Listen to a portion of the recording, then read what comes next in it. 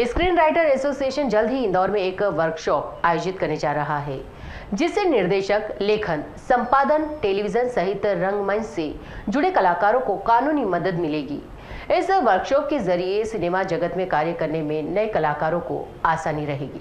प्रदेश की आर्थिक राजधानी इंदौर में जल्द स्क्रीन राइटर एसोसिएशन वर्कशॉप आयोजित करने जा रहा है, जिससे प्रदेश के कलाकारों, निर्देशक, लेखन, संपादन टेलीविज़न सहित रंगमंच से जुड़े कलाकारों को कानूनी मदद मिलेगी। इनमें शहर से जुड़ी ऐसी समस्या जिनमें कहानी चोरी ना हो या किसी कहानी से उनकी कहानी मैच कर रही हो, ऐसी कई समस्याओं का निराकरण राइटर एसोसिएशन कराएगा, जो कि पिछले कई सालों से कानूनी संबंधित आने वाली समस्याओं को हल करने का कार्य कर रहा है।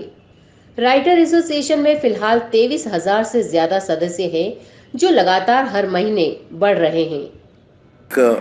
हम लोगों का भी एक कार्यक्रम जो शुरू किया है हमने टू एजुकेट न्यू राइटर्स तो उसके लिए हम एक रेगुलर कॉन्फ्रेंसेस इवेंट्स और साथ में हम कुछ वर्कशॉप्स आयोजित करने जा रहे हैं। तो मैं वो भी एक पॉसिबिलिटी यहाँ तलाशने आया हूँ कि हम एक यहाँ वर्कशॉप तीन दिन की इंदौर के स्क्रीन राइटर्स के लिए कर सकें, इंदौर और उसके आसपास जितने शहर हैं। तो उनके लिए एक स्क्रीन राइटर्स की हम तीन दिन की वर्कशॉप करना चाहते हैं, जिसमें हम नए राइटर्स को एजुकेट कर सकें कि वो कैसे इंडस्ट्री में आए, किस तरह से अपना कंडक्ट करें और अपनी क्राफ्ट को किस तरह से वो लोग पॉलिश कर सकते हैं। तो उसके लिए हम लोग एक संभावनाएँ ढूंढ रहे हैं।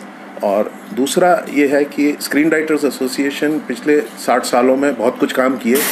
एक चीज़ पे आके हम हमेशा अटक जाते थे कि जब भी कोई प्रोड्यूसर या किसी ने, कोई कंपनी ने या किसी इंडिविजुअल ने भी राइटर के कॉपीराइट का वायलेशन किया है और अगर उसे क्रेडिट नहीं दिया है या उसके पैसे नहीं दिए हैं और उसकी स्क्रिप्ट चुरा ली है अगर तो ऐसे में हम चूँकि एक डिस्प्यूट सेटलमेंट कमेटी होती है जो प्रोड्यूसर्स बॉडी से बात करती है और उस राइटर को उसका हक दिलाने की कोशिश करती है। Bureau report I N C twenty four news, Indore.